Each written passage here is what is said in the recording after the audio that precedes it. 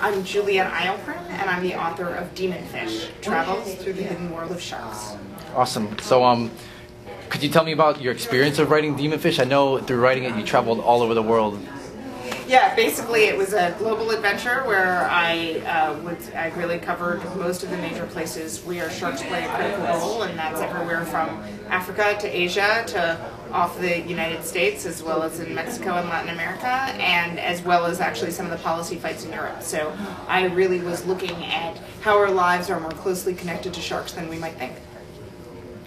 Nice. And um, what what was it that provoked you to embark on such a mission? And what, what is it that entices you about, about sharks so much? Well, actually, Miami played a key role because it was a University of Miami researcher who convinced me to get in the water with sharks for the first time in 2005.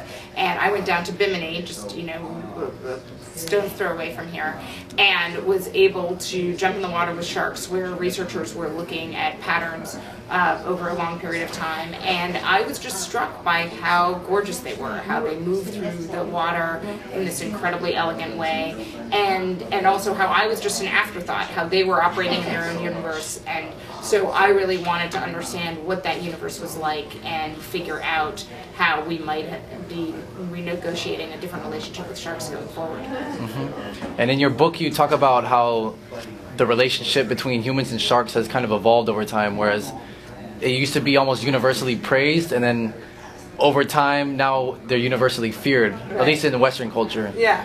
What do you think the tipping point was? Well, I think there were a few things. So basically, as, as, you're mentioning, so if you look at island cultures traditionally, they often worship them and recognize that they were powerful, but saw them as more often a force for good than for ill. And then I think one thing that really happened in the West is we forgot that they existed during the Middle Ages, and that was this critical break that set them up for demonization. And it started first with seafaring, where sailors uh, traveling, you know, to sea were, were and sometimes falling prey to sharks if they fell overboard. Uh, but it was really a series of events first, a series of attacks in 1916 off the Jersey Shore, which is when Americans first felt vulnerable to sharks, and this was also happening, for example, in Australia and South Africa.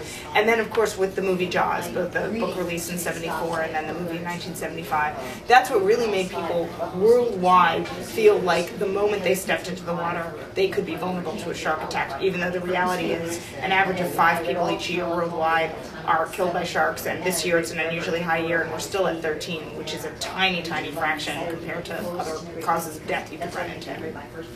Yeah, and um, you mentioned your your first experience with sharks, where you went into the cage in, in, in the Bahamas, and you went down and you kind of swam with them, right? Um, prior to that, which was really the the set off point for this, what was your um, what was your relationship with the sea? Right. Well, that's a good question. And so, by the way, I wasn't in a cage for that, that time. The only time I've been in a cage is with great whites off South Africa, because that is okay, where sorry, you do yeah. want to know, where uh-huh. you do want to be protected. But in general, you just really want to. Obviously, one of the things I really love is seeing sharks in their natural element, whether it's on a coral reef or elsewhere.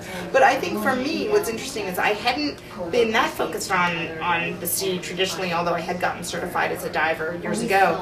But it was really through covering the environment for the Washington Post I began to that the oceans are, we're at this tipping point, and that basically some of the decisions that we're making now are going to have huge implications for what the sea is like years from now. And so I actually, you know, basically some of my sources urged me to get in the water, and I did. And that was at the moment that I decided that this is an era of discovery that I wanted to be a part of. Yeah.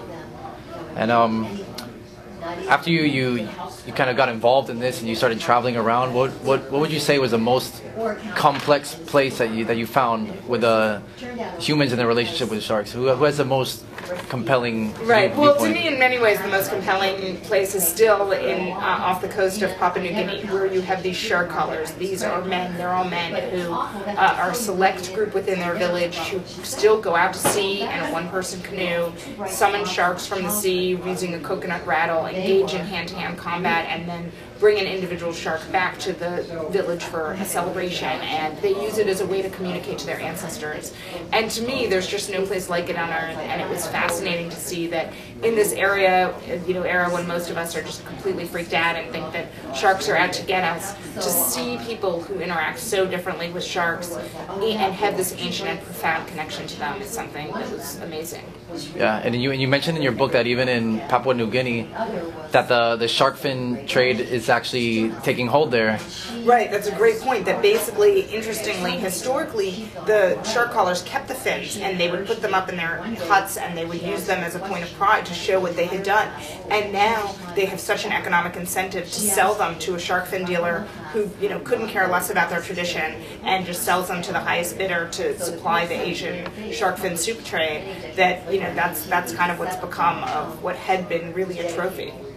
Yeah, and you also tell us in your book that. Um, the shark fins, while they're they're a value commodity, they're essentially tasteless and they add nothing to the final product. Um, do you think that most do most Asians who are the, the primary customers and the clients of, of this trade, do you think that they, they realize this and they if they recognize this, what's their what's their opinion on it? Basically the sense that I got talking to folks in Asia who consume shark's fin soup were two things. One, they do care about the texture, and while, for example, sharks are fish, they're they're cartilaginous fish, so it's that it's kind of that uh, cartilaginous element that they that they prize from a culinary perspective. But most importantly, they see it as a status symbol. That for them, it's less about the taste of the shark fin, but it's the fact that you're serving shark's fin soup to your guests, particularly at a wedding or an important business meal. And so, in a sense, they have conquered the shark, and it's something that shows that they were willing to spend the money. So that's what's so interesting, that it's more about prestige than it is about taste. I see. And um, there seems like throughout your book that there there's a there's almost a parallel, or there is a parallel between human treatment of sharks and the treatment of the environment at large. Um, what role do you think the Industrial Revolution played in this in this shifting attitude towards sharks and nature in general? I think that you know, in, in large part, we just think that the sea is is ours for the taking, and we often don't realize how our advances in technology have affected the capacity of the ocean to sustain itself. I think that's really what it comes down to, that we've become so efficient. You know, it's amazing. With basically, when you meet most fishermen, they have a GPS device on their boat. You know, some of them have incredible, you know, electronics that allow them to get a sense of where fish aggregation is. And so in a way, I think we just don't recognize what a top predator we've become in the sea and the fact that we can exact at this point an incredible toll on these vulnerable populations, particularly sharks that are late to mature don't have tons of young, and as a result are really under tremendous pressure in a way that they haven't been before. Mm-hmm. And do you think there's there's hope for a more sustainable future? I do. I'm an optimist by nature, as, as, someone was saying the other day to me. You know, you're either born that way or you're not. So when I look at the sea and when I look at sharks, I think that this is really this moment where I see when I've been talking to people about my book, people really are rethinking our relationship with sharks. They don't necessarily think about them in the, the one-dimensional way they did before. And so we're already seeing some policy outcomes. We're seeing that, for example, there are states like California Washington, Oregon, and Hawaii who have already banned the sale, trade, and possession of shark fins. We're seeing on the international level a restriction on shark finning in certain areas and shark fishing. So I think there's hope for sharks yet, and I think that people are going to realize that they've been around for 400 million years. There's no reason why they shouldn't stay around for a little bit longer. Mm-hmm. And talking about the, this whole problem of, of, of overfishing and kind of depleting the, the natural resources that are out there, what do you think that the, this overfishing of, of sharks, what do you think it says about human nature? Well, I think that in many ways it both talks. It speaks to the fact that we're, we're in some ways careless about how we treat things, that we just don't we don't pause to, to see what our what our impact is, and that, that in fact it's taking us a while to recognize that we really need to incorporate science into what we're doing. And you know, broadly speaking, it just shows how status and prestige still dominate the way we consume things, and that at the end of the day, that's what we're focused on. And it's it's often not even about you know how much we actually might need something, but it's really about what we want and what we want to say about ourselves. Yeah. And um, some some people say that humans are, are hardwired to kind of fear snakes or fear, say, a, a spider. And um, I mean, you, you go in, in kind of in depth uh, in your book about how this has been a, a social construct, that it hasn't always been this way. Um, do you think that'll ever change? Well, I think on a certain level we do have a primal fear of sharks because they're something that can attack us without warning from the dark. and that is something that does understandably scare us. But I do think that, for example, when you look at how we view polar bears, polar bears are lethal too. And in fact, recently there was a there was this year there was a tragic incident in Norway where someone died and others were seriously injured.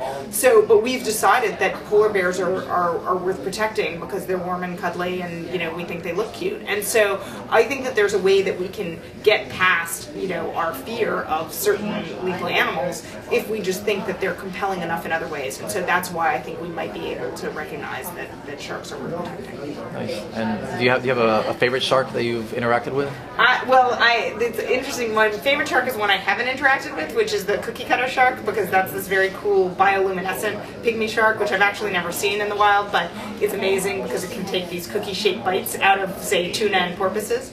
Uh, in terms of swimming with sharks, there, there are tons that I love uh, spending time with. I actually kind of have enjoyed uh, seeing the wobbegong shark, which looks like a carpet, and it's really pretty mellow and stays on the seafloor. I saw a bunch of them when I was in Indonesian Papua and Papua New Guinea. So in terms of what I've seen in its natural element, I'd, I'd hang out with a wobbegong anytime, or a whale shark, which are gorgeous in their own right. And is there any sharks that you would avoid at all costs? Well, it's interesting. Uh, I again would see if I wanted to see great white, I would want to see it in the cage the way I did before. And um, with bull, I I'm still scared of bull sharks and uh, and tiger sharks. Uh, many of whom swim off the shores here in South Florida.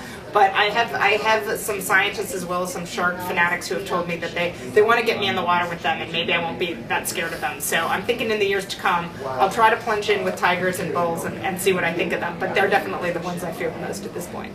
Nice. And, and are you, are you working on anything now? What's in your future? Well, I'm still day to day covering the environment for the Washington Post, including writing about sharks, which I, I do on a regular basis. And then I, most likely there'll be another book in the works, but right now I'm, I'm focused on Demon Fish and getting out the word on that one. Cool. And um, how are you enjoying your time at the Miami Book Fair? How do you, how does it feel to be invited here? It's awesome. I mean, this is a book fair I've of course you know heard about for years. There are amazing authors who you know I'm just interacting with right now. So it's a real honor to be here. I'm really excited to, to be able to see what's going on and to attend some of the talks. When I'm not going to be up there, I'm going to be listening to other authors talk about their work. Nice. And what time is your reading? My reading's at 11 a.m. Great. And uh, the, one of the things is that if people want to learn more, they can go to www.demonfishbook.com or follow me on Facebook and Twitter. Great. Awesome. I think I have one question. All right. Oh, sure. Uh, what do you think of Shark Week?